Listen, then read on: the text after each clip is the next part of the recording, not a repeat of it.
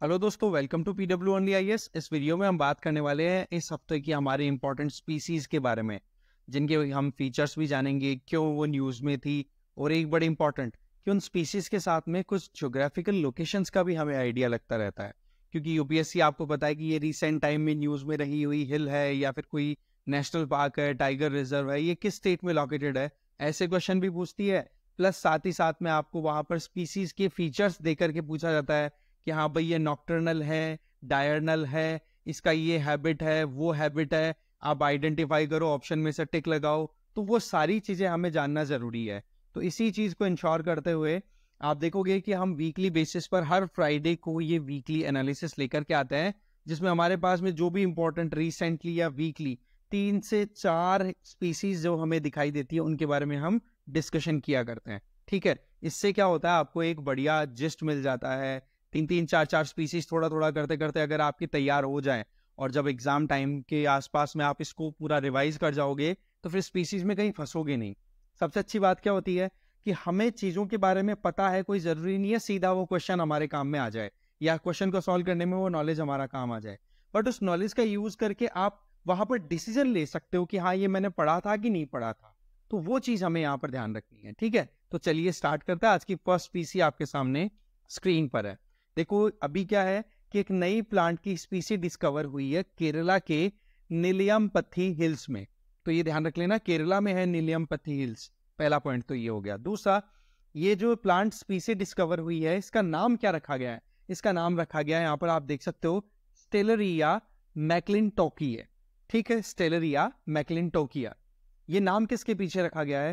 देखो तो 1983 में जंपिंग जीन की डिस्कवरी के लिए बारबरा मैकलिनटॉक, ठीक है, इनको नोबेल प्राइज दिया गया था। उस नोबेल प्राइज विनर इंडिविजुअल के नाम पर ही इस पर्टिकुलर प्लांट स्पीसी का नाम रखा गया है, ठीक है? इस स्पीसी की बात करें तो इसका जीनस है। ये जो स्टेलरिया है ना, ये इसका जीनस है और ये जो स्पीसी का नाम रखा गया है मैकलिन टॉकिया ये आप ध्यान रख लोगे, बारबरा मैकलिन टॉक नाम से नोबल लॉरियट है। 1983 में उनको जंपिंग जीन की डिस्कवरी के नाम से डिस्कवरी के बिहाफ पर उनको वो नोबेल प्राइज दिया गया था। ठीक है?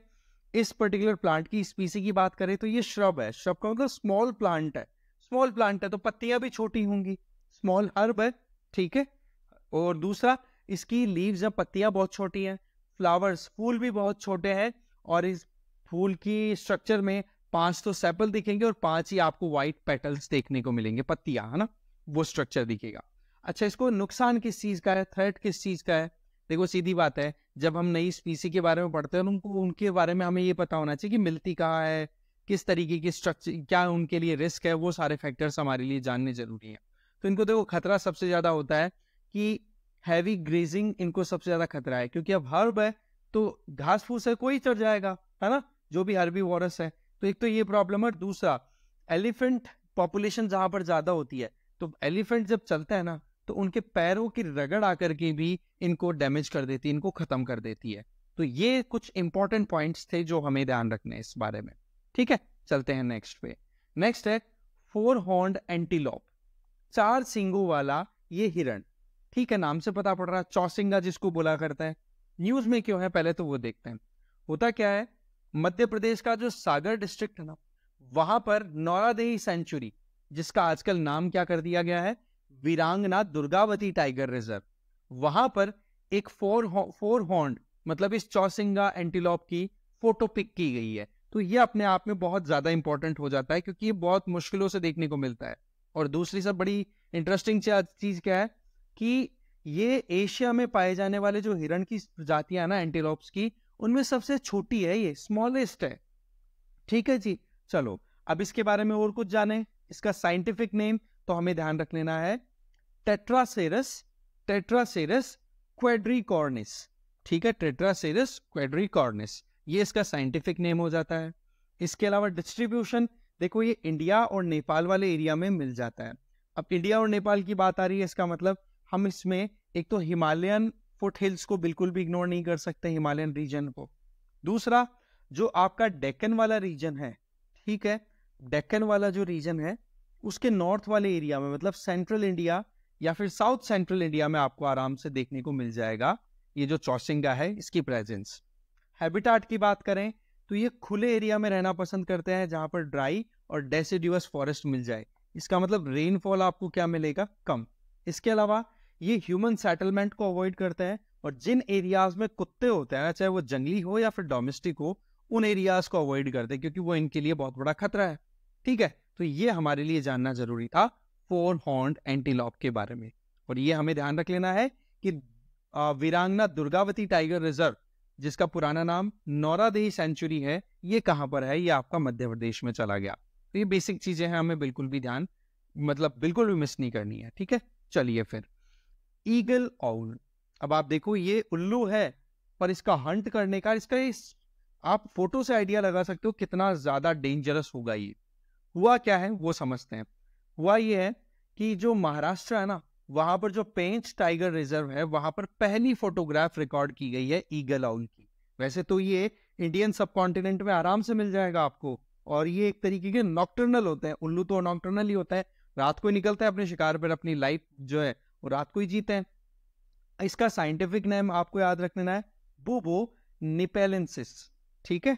और इसका दूसरा नाम है, ये आपको याद रख लेना है spotted spot bellied eagle owl भी इसको बोल दिया जाता है। अब ईगल आउल तो नाम आ ही रहा है इसके नाम में।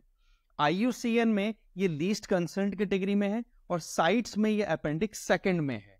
इसका मतलब ज़्यादा पॉपुलेशन डिक्लाइन का वो तो इतना खतरा नहीं है बट स्टिल आप यहाँ पर देख सकते हो कि साइट्स में इसके इंटरनेशनल ट्रेड को रेगुलेट करने के लिए अच्छा खासा प्रोविज़न कर रखा है।